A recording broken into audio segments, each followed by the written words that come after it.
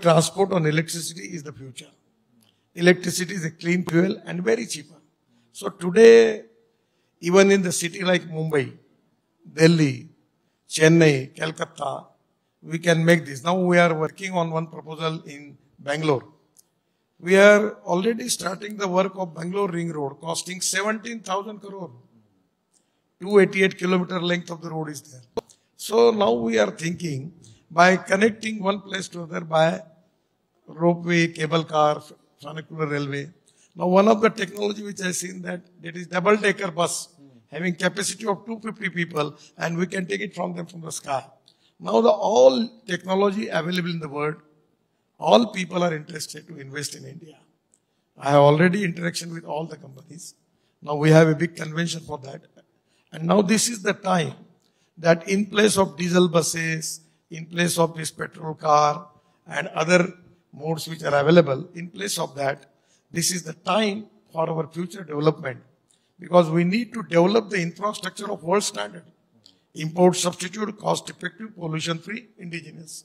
So mass rapid transport electricity, we are now planning for trolley bus. We are planning from Delhi to Jaipur if it is to be successful. Then we can make Delhi to Mumbai and even truck can go by electric. Then in place of 110 rupees diesel, the electric cost will be 8 rupees. So it is going to reduce the cost. So this is type of futuristic technology in the transport is very important. The most important thing is we are going to change fuel. In place of diesel and petrol, the idea is we can think about electric trucks, then trucks on LNG, CNG, and we have a lot of alternative fuel and biofuel. We, it's really a success story. Now we are have methanol. I am giving you the example that methanol rate is 22 rupees per liter. And we have successfully implemented the Karnataka State Transport Pilot Project by using 15% methanol in diesel. It is successfully implemented. Now in the Assam Petroleum, we have methanol is available. In Mumbai, Deepak Fertilizer and RCA, methanol is available. And now government has taken decision to adding 15% methanol in diesel. Now you just understand the diesel rate is 110 rupees per liter and methanol is 22 to 23 rupees per liter. And the most important thing is now Ashok Leyland has already launched their trucks on 100% methanol. We can get methanol from coal, low quality coal. Not only methanol, we can get ammonium nitrate, methanol and DME. And in USA, the 40% up to the 40% DME adding in LPG. So we can reduce the cost of LPG.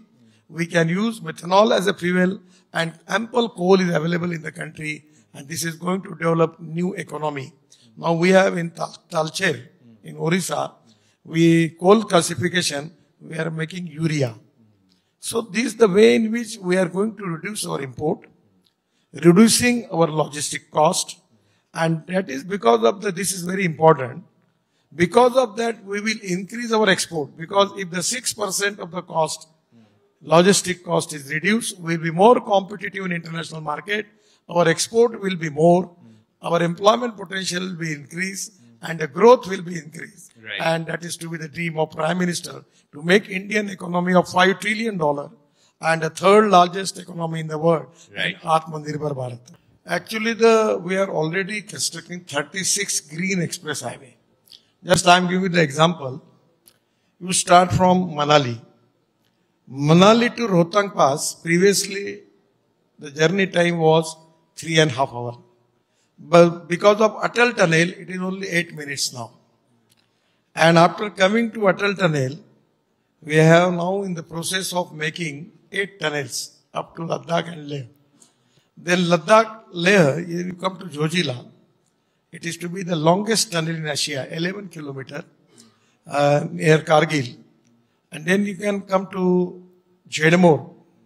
And after Jedmore, we can come to Srinagar. Then Srinagar to Jammu, we are making 18 tunnels, out of which probably within three months, all tunnels will be completed. And before coming to Jammu, near Katra, there is Delhi Katra Express Highway.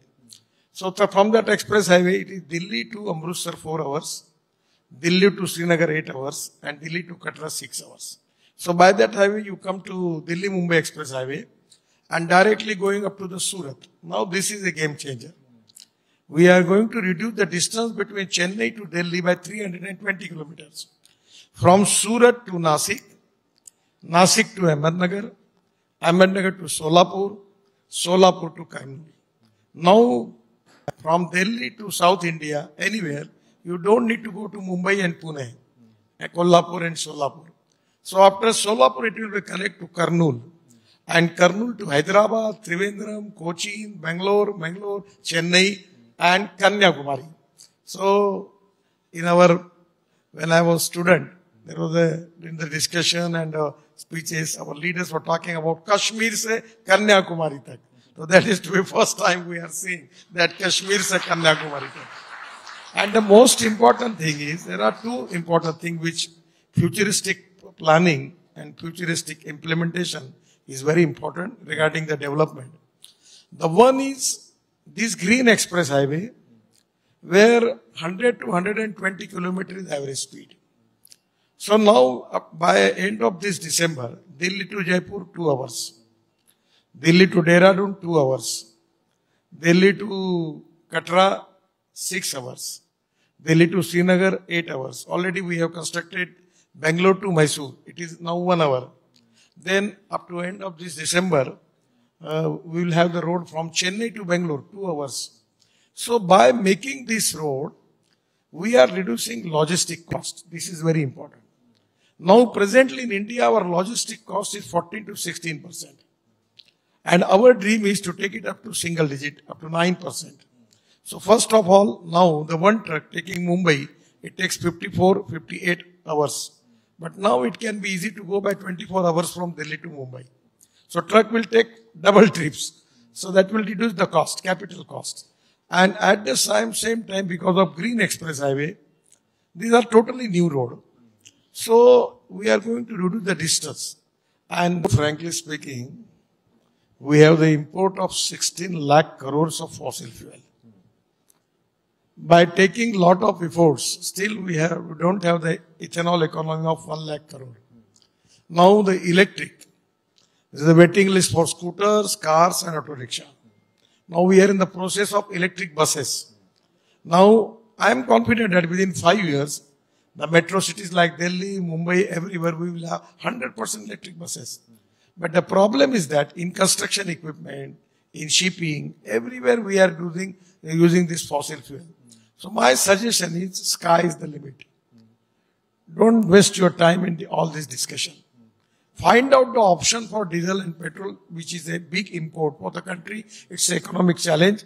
And that's a pollution point of view, it is a very, very serious issue. So whatever the alternative you have, you take it.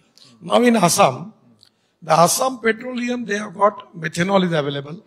So in Assam and Northeast, we can convert our transport on methanol. In Mumbai, if the methanol is available, the Mumbai best buses, we can convert on methanol.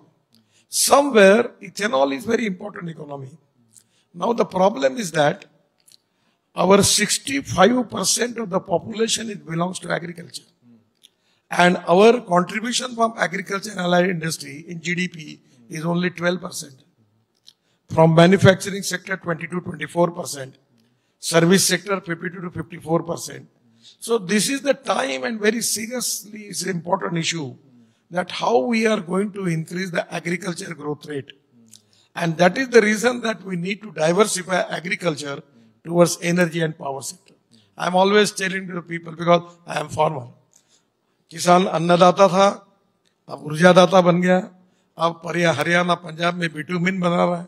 We don't need to import bitumen we have a good quality of bitumen from Parli and now in Panipat from Parli rice straw the Indian oil is making 1 lakh liter of bioethanol per day, then 150